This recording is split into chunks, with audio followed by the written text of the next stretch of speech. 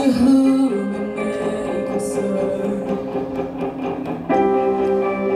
I think I lost my way.